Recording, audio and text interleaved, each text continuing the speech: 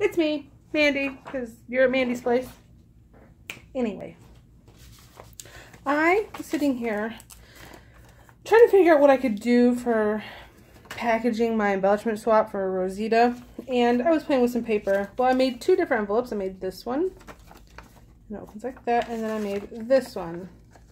So two different sizes, two different styles, you know, but the same the same aspects. You just either put the paper this way or you turn it this way. That was all the difference.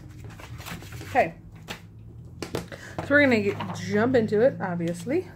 I don't like the lighting in here, guys. I'm super sorry. It sucks right now.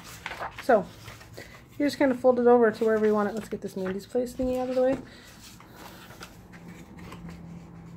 And this can make some difference, no difference of where your middle part is. And then you fold this over as far as you want it. I like to make sure they're overlapping. Fold. Ready? Okay. My paper has this perforated line that I'm supposed to cut off. So I'm just going to do that now instead of before.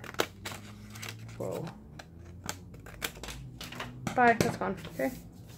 And this is a 8 eight and a half by 11 inch pad of paper and this is just designer paper from like Walmart.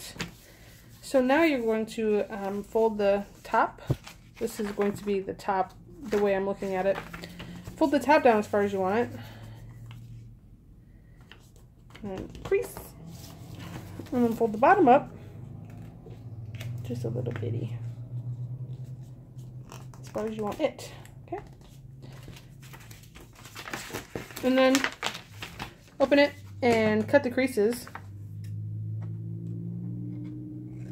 You could be cooler than me if you want. It however you want. I'm just, uh, I just go to angle at the bottom just because it looks a little bit cuter. You don't have to. And I'm making mine bigger because the embellishments um, that I'm sending are bigger. Oh, um, so I want to make sure there's enough room in there. But like for this one, you could cut this in half. And you know, this is really long, like hand. Um, as you know, eight and a half by 11. So, but you could cut this in half and have two of them if you wanted a cute little envelope that's, you know, that size. You know, play with it. Do it how you want to. It's your craft. I'm just showing you what I'm doing for mine. Super, super easy. I've done this before and someone asked me before how to make an envelope. Well, this is a an easier way to make an envelope, but um, I just thought I'd come on here and show you guys what I was doing. And in case you guys didn't know or might give you an idea, you can also do this with like these bags. You can cut these in half and um, make multiple ba little bags out of them. And let's just swoosh that out of the way. So now we're going to put this back together and I love Tacky glue, so that's what I'm going to use. Sorry, I have a huge thing of tacky glue if I can get it to come out. Sorry guys. Taking the little, okay, there we go. I'm using just a little bit, not a lot. Like I'm not saturating the paper, just enough to make it stick. And I'm not being neat about it and just shoving it on there. Push it together. Do the same thing with the bottom. Go around the edge here. Whoa, that was a bit much. Okay. Otherwise it gets too wet. And there you go. That's, that is wet. But then, you know, it's closed. You can stick whatever you want down in there. Plenty of room. You can either have this shut if you want. You could sticker this shut or you could do like uh, put a brad and wrap some string around it if you want to. You can do it however you want.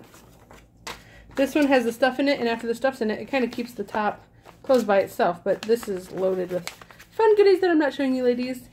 And I put, um, we have to have our name on the package. Um, so I, these are like the cutoffs that I used. I just glued it on there upside down. And I did this one here so I could put the host's name right here I have my name on the back. Super simple, super easy. You can do it with any sheet of paper. This is just happened to be an 8.5 by 11 that I grabbed. Um, once again, just wanted to show you guys what I was doing. And hopefully you guys use it. And if you do, post it on Pass on Facebook. I would love to see it. And uh, any questions, comments, concerns, leave them in you know the comments below or you can email me and my email will be in the description box. Thank you ladies.